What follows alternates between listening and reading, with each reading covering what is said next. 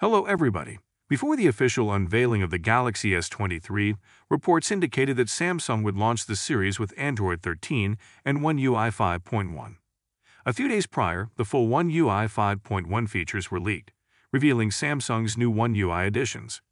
German publication WinFuture leaked the One UI 5.1 changelog, revealing that the update will include enhanced stock apps, more options with mode and routine, upgraded AR emojis and AR zone, a new battery widget, collaboration in Samsung Notes, improved multi-device controls, and minor enhancements to Samsung DeX.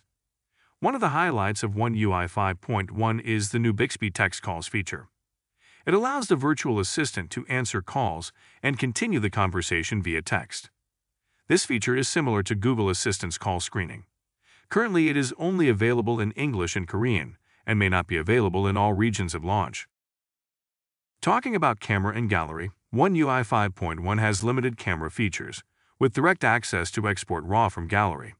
The Gallery app improved with album sharing and 5GB storage, and custom screenshot saving.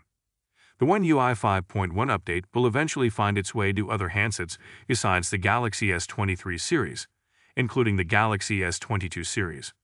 However, one feature called A Restoration will reportedly be found only on the Galaxy S23 line. This sounds like it could be similar to the Photo Unblur feature for the Pixel 7 series. Photo Unblur fixes old blurry photos in the Google Photos app, even those that were taken using another camera. In terms of connectivity, One UI 5.1 integrates Samsung ecosystem, allows keyboard slash mouse across devices, shared notes, synced internet tabs, media control to multiple speakers. Also includes faster setup, new DeX features, detailed weather slash battery widget, and more. It is speculated that the One UI 5.1 update may begin rolling out in the latter half of February, but Samsung has not officially announced the release date or timeline.